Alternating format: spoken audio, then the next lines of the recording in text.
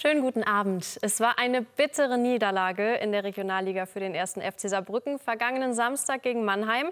Damit ist der Aufstieg in weite Ferne gerückt. Viel Zeit zum Analysieren blieb aber nicht. Der FC musste heute wieder ran. Heimspiel gegen Balingen und so viel kann ich schon verraten. Es war ein kurioses Spiel. Nur 1800 Zuschauer in Völklingen, aber der erste FC Saarbrücken braucht auch nur sechs Minuten, um zum ersten Mal Druck aufzubauen. Mendler mit dem Blick für Müller. Und Jennecke völlig unbewacht. 1 zu 0, vierter Saisontreffer für Tobias Jennecke. Die schnelle Reaktion auf das Mannheim-Trauma. Müllers Flanke mit dem perfekten Timing.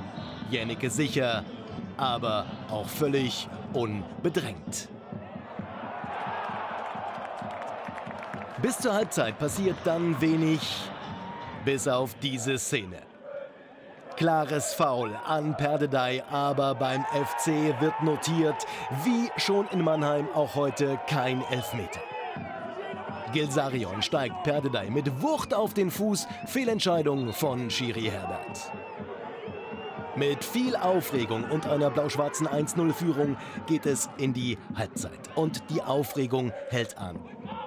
Denn, Achtung, Lauble tritt brutal gegen Kiel Gomez. Eine rotwürdige Tätigkeit, die der Schiedsrichter nicht sieht.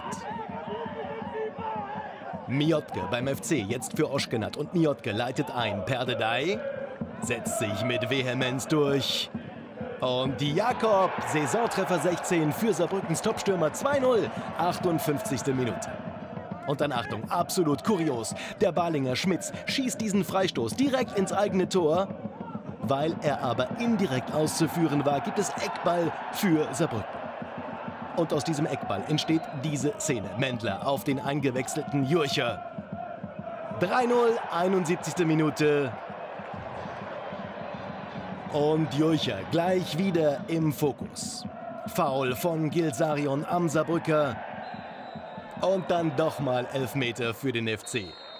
Markus Mendler ohne Kompromisse 4-0 der FC tritt im zweiten Abschnitt absolut souverän auf und hat Lust auf mehr. Jurcher, Jakob und Perdedei 5 zu 0 in einem nicht alltäglichen Spiel. Die Mannheim-Schlappe scheint fürs Erste verdaut, oder? Ich glaube, da muss man sich nur das Spiel und das Ergebnis anschauen. Ich denke ganz gut. Ähm, habe gerade den Jungs gesagt, dass sie das wirklich gut heute gelöst haben. Ich denke, es war keine einfache Situation. Nach dem verlorenen Highlight-Spiel am Wochenende ähm, hat die Mannschaft das heute sehr gut hinbekommen und ja, dementsprechend können wir mehr als zufrieden sein heute. Saarbrücken spielt vor allem in der zweiten Halbzeit sehr guten Fußball und trifft fünfmal. Gut für die Seele, gut für das Torverhältnis. Die nächste Aufgabe wartet schon Freitagabend. Dann geht es für das Team von Dirk Lottner zum FK Pirmasens.